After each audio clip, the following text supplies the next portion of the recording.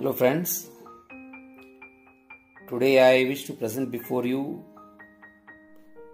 the limitations of uh, responsibility of the Reserve Bank of India in reference to the investors who are investing uh, their money in various forms of accounts, uh, be it fixed, be it savings, be it recurring, in various approved licensed banking system in India.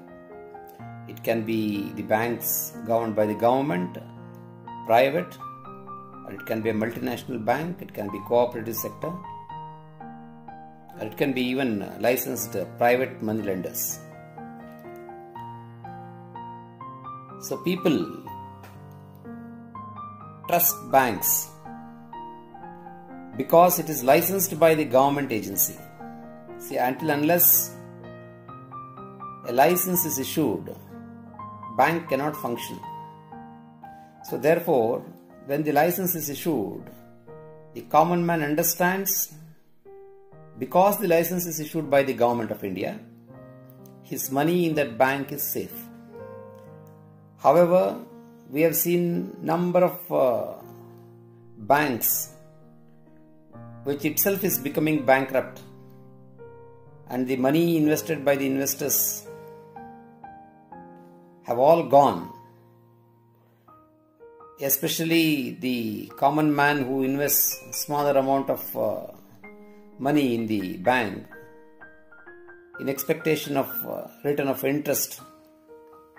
Senior citizens for making a living are all rendered in serious issues. Their life itself their living itself is threatened because the banks go bankrupt in that situation, let us understand what is the connect between the Reserve Bank of India and rest of the banks operating in India.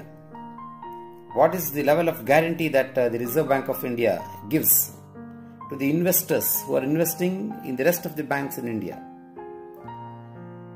So the Reserve Bank of India was formed uh, by Reserve Bank of India Act 1934 and once we gained independence it was it was uh, nationalized in 1949 since then the reserve bank of india is owned fully owned by government of india. And the main functions of the reserve bank of india is uh, the distribution of money. And it also acts as a regulatory bank. So it makes the regulations for other banks to operate in India. So it is also the custodian of other banks of in India. So there is no doubt in that. Since it is a regulatory bank of India, it automatically becomes a custodian of uh, the rest of the banks in India. So under which directions the rest uh, banks are to perform.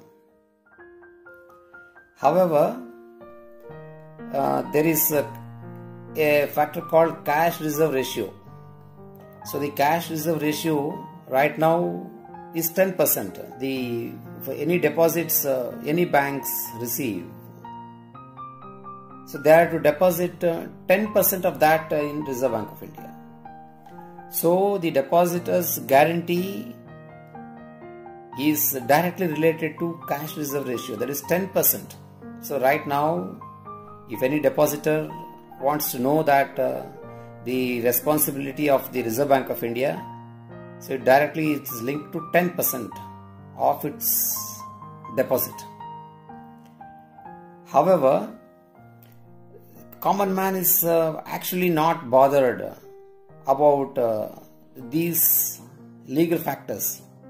He makes an investment and it is quite but natural that he expects whatsoever the interest as assured by the government of India from time to time, especially the senior citizens.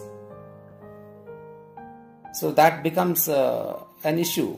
So therefore, the licensing uh, of banks of India has to be much stricter, has to be much more stringent.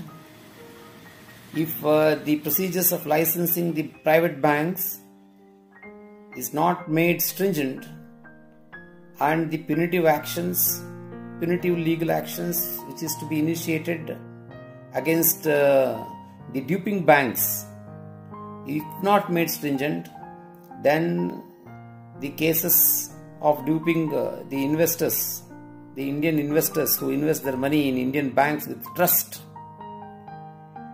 is uh, always challenged and uh, continuously under threat.